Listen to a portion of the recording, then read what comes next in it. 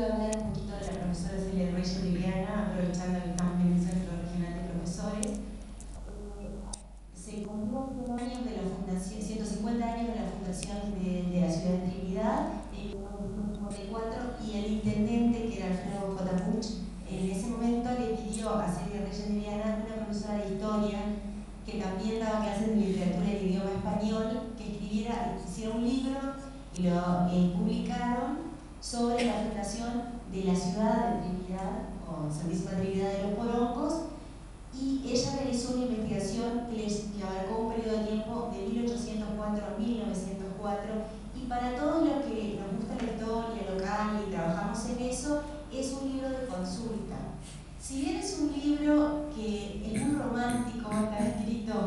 con un estilo muy particular, cita mucha fuente. Entonces, cuando nosotros empezamos un trabajo, lo primero que hacemos es consultamos a Celia Rocha Mediana y ella nos dice de dónde sacó la información. Entonces, es fundamental para nosotros porque podemos ir a la fuente, siempre coincide o casi siempre coincide, y a partir de ahí podemos empezar ese trabajo. Y entonces, eh, yo no participé en esta investigación, pero este, sí Sé que ellos el primer, eh, lo primero que consultaron cuando la investigación fue el trabajo de la profesora. Eh, otra característica que tiene este libro es que luego de 1904, no, eh, este trabajo empieza en 1804 y cuenta año a año todos los sucesos en 100 años de, la historia departamental. Y a partir de 1904 en adelante nadie siguió con esa investigación y no tenemos este, datos fiables, certeros, de, qué pasó en ese periodo de tiempo, de 1904 en adelante. No, si tenemos algún trabajo esporádico de algún tema puntual, pero no eh, con la continuidad que, de la obra de Celia Reyes Bien, vamos a este, abordar el primer antecedente que tenemos sobre la creación de la solicitud o el interés de los vecinos por la creación del departamento de Flores. Eh, en estas diapositivas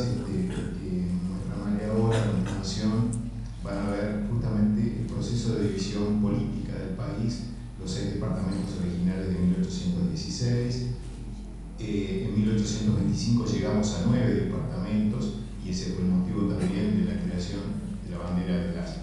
nueve francas. Este, en 1837 eh, se sigue la subdivisión llegando a, a, este, a 12 y posteriormente este es el último ya con la última creación, los departamentos de Artigas,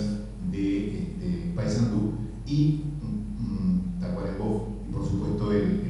departamento de Flores. Este, como decíamos entonces, nos basamos como primera fuente en el libro de Celia Reyes, El sufrimiento de la ciudad, delimitado por hongos, y este, ahí empezamos a investigar y a profundizar y a corroborar los datos que la profesora Celia Reyes nos estaba dando. El escribano Ramiro Turreses entonces va a hablar del primer antecedente que existe donde los vecinos se apersonan ante las autoridades nacionales buscando este, definir con mayor claridad esa identidad. Muchas gracias José.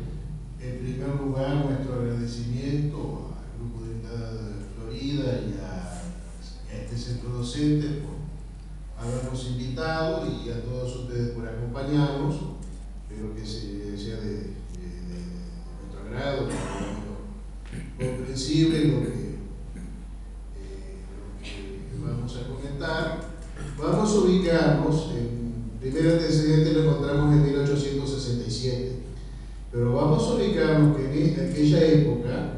ya se había producido la caída de Paysandú, Venancio Flores había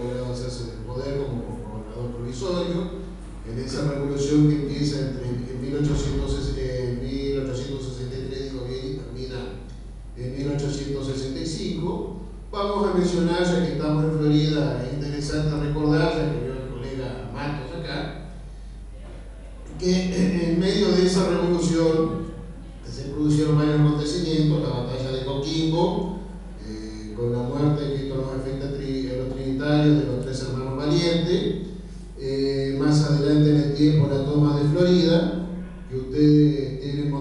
para recordar mal este episodio, porque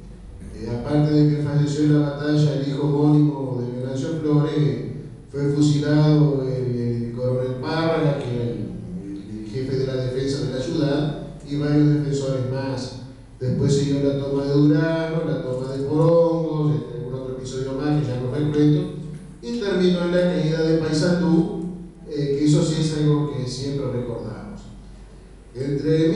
1865 y 1868, Venancio Flores, que era oriundo de Trinidad, eh, los destinos del país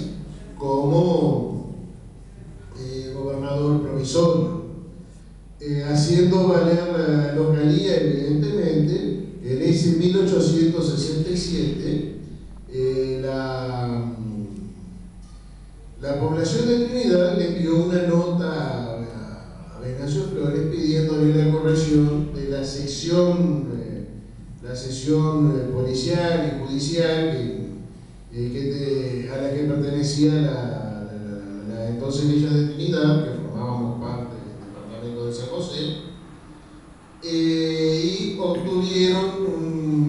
unos límites seccionales muy similares a lo que después fue el departamento de Flores. Y en eso no sé si hay algún trozo de eso, de, ahí además le pasa la siguiente,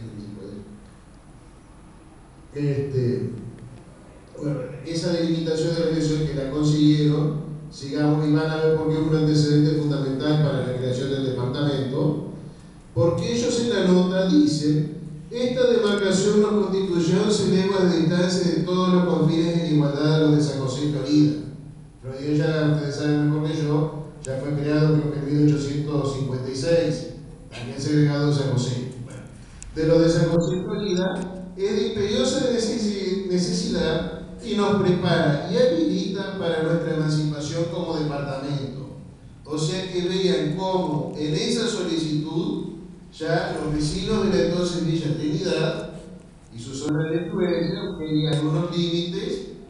este, que les permitían en algún momento gestionar la, la creación del departamento. Eso fue lo que hizo Venancio Flores y por eso es que lo tomamos como el primer